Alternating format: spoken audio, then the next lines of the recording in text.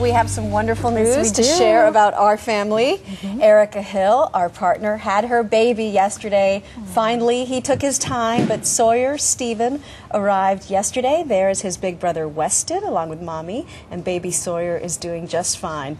We thought that we would come up. Oh, and there's dad. There's dad. He's a happy camper as well. Sawyer's a big boy. What eight? He was almost eight and a half pounds. Oh, Yeah, that was even painful for Dave. that's that's a lot of baby, to get out. yeah. That is a lot of baby to get out. that's a lot. But remember how big her, her belly was, so that explains Yeah. it. She's all Yeah. bellied up. Yeah. Yeah. Mm. So we thought we would do something unique and kind of get a time capsule gift for Sawyer to remind him of the era in which he was born. Mm-hmm. So we got a little box and then we put stuff in there from today and then he can open it later. So the first thing is everybody should have a copy of the front page of the newspaper on the day they, were born. So mm-hmm. here is mm-hmm. yesterday's New York Times for you, Sawyer. Yeah, we thought about nice. the health care bill, which was signed, but that was too big to put in this little Exactly. so we chose the paper instead. And then I got a flip camera, but I thought rather than put it in the box for him to open so many years later, because by then it'll be extinct, Right. Erica should use it. Absolutely. She could take video and, and mm-hmm. put it in her computer and send it to her sister in Paris or other Right. family members. Right. So this one's for you, Erica, What, not for what, what do Sawyer. you have? Well, I decided to uh, actually get her a digital frame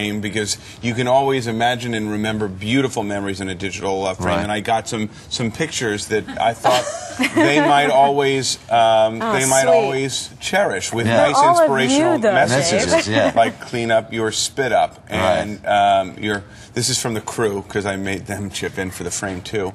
Um, but but the real mail. present is is on its way. And then just to remind him Yeah. uh, that There's a we duty. are on yeah, There's a seven to nine to watch Not a duty Mommy. in the pants, but he has a duty. Right. and uh, a little Oh, that's finally a sweet yeah, message. it? I, th- I think it's kind of nice. yeah, there you go. There And you it go. actually is a talking frame, so I've written and uh, some inspirational things which he can listen to through his lifetime, and hopefully he'll Your, grow to be your a- That gifts are very thoughtful. you-centric because when Julie's baby was born, you got her a, a lullaby sung by you. Well, I spent all my money on that, and I didn't have a lot of cash left. All right. And Betty?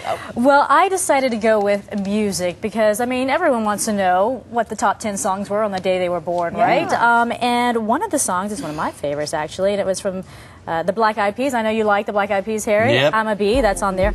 Also, there it is, rocking out to that. Sawyer's going to be jamming. Also, though, the number one song on the day he was born yesterday was by Rihanna called Rude Boy. So that's Oh, a no.